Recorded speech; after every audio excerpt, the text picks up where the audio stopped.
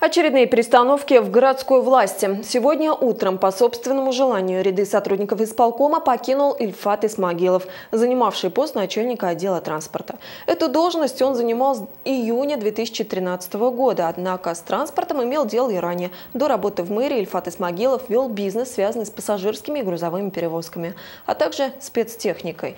Чем он займется теперь и кто придет ему на смену, пока неизвестно.